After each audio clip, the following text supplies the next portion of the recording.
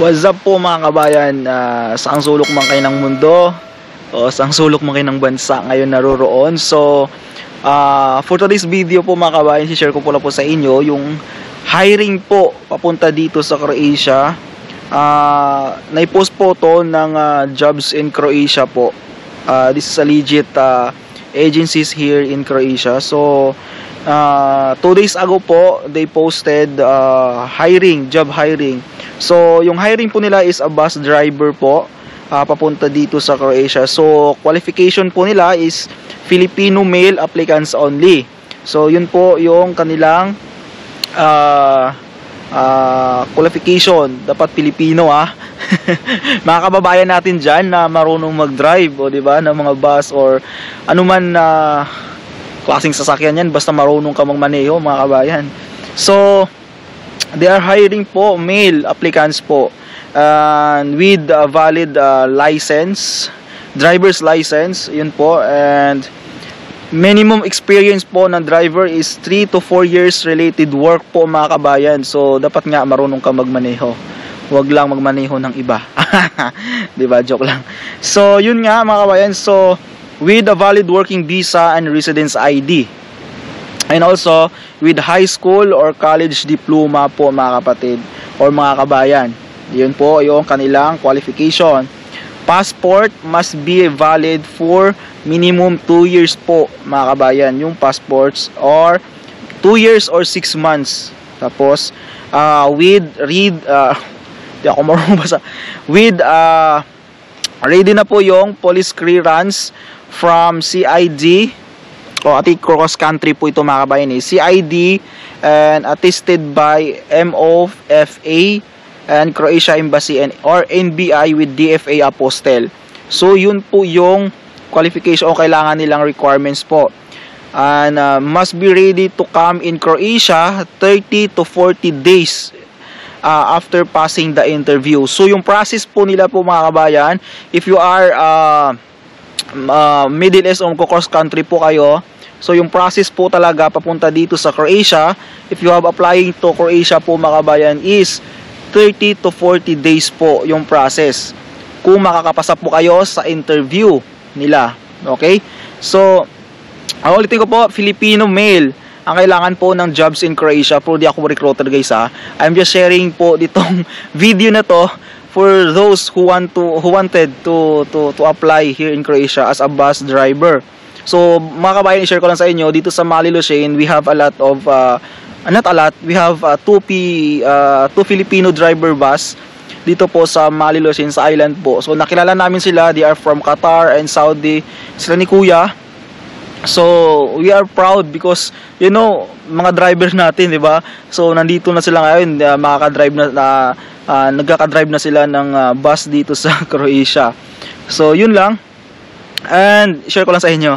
So basta po uh, merong valid driver's license po mga kabayan tapos uh, minimum 3 to 4 years related work tapos uh, visa and residence ID valid tapos high school or college diploma ang kailangan so 2 to 2 years to 6 months po na passport uh, expiry po ang kailangan valid so tapos kailangan po NBI or uh, with a DFA apostle po mga yung kailangan. So yung process po talaga mga kabayan is 30 30 to 40 days.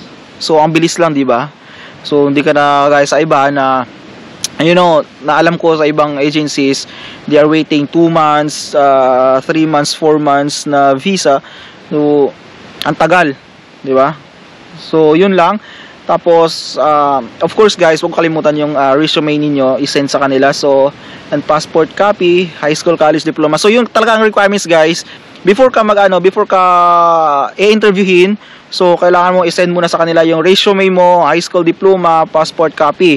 So, I just put the link down below guys sa mga gusto mag-apply mga kabayan uh, dito sa video na to, sa baba ng video na to, this is description, lagay ko dito yung uh, jobs in Croatia or please uh, if you can uh, do search their pages po, nasa Facebook page, uh, jobs in Croatia. So, nakita po ninyo doon ng hirings nila. So, marami silang hirings dito. They are also hiring uh, uh, constructions worker, uh, carpenter, tapos mason, meron sila, uh, steel fixer, meron silang ge, uh, gem sump installer. I don't know how to pronounce it, but Bisaya ba kahit ay lisod kayo pronounce.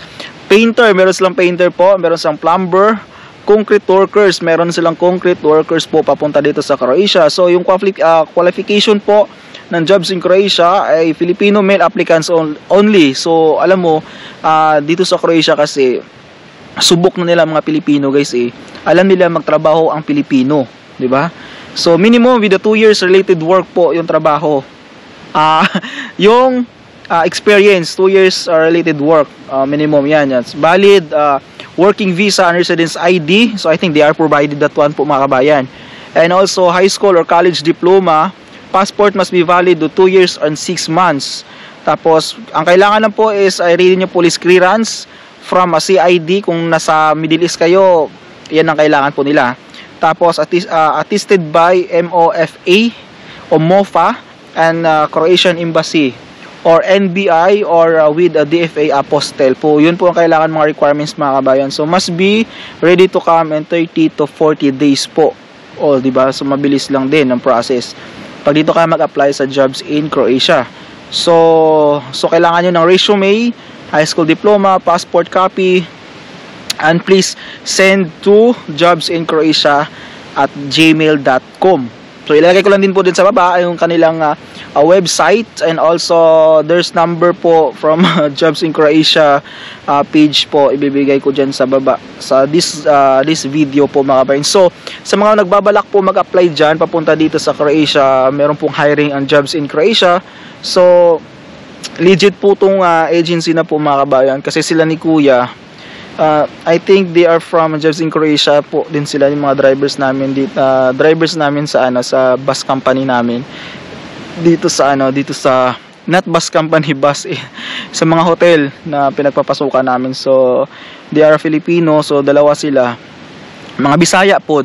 So kasi tanera sad me so kinumusta ko sila they are okay. Sabi nila uh, this is a stepping stone lang daw o di ba? Lang daw daw mga kabayan. So stepping stone nila tong Croatia. So they they are planning also I think to go uh, Canada somewhere New Zealand or basta part of the Europe na euro yung pera at malaking sahod.